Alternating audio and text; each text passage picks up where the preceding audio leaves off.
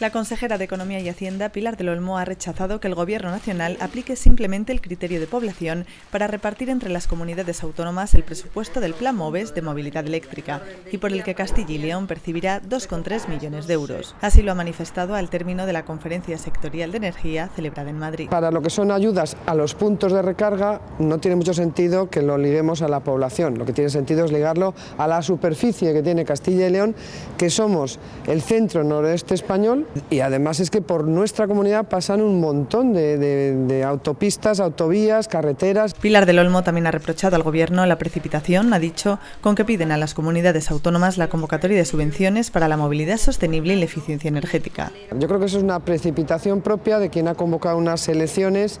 el día 28 de abril y lo que le hemos pedido todos y Castilla y León le hemos pedido que, es que no da tiempo, primero porque nos tiene que transferir el dinero, porque tiene que haber un acuerdo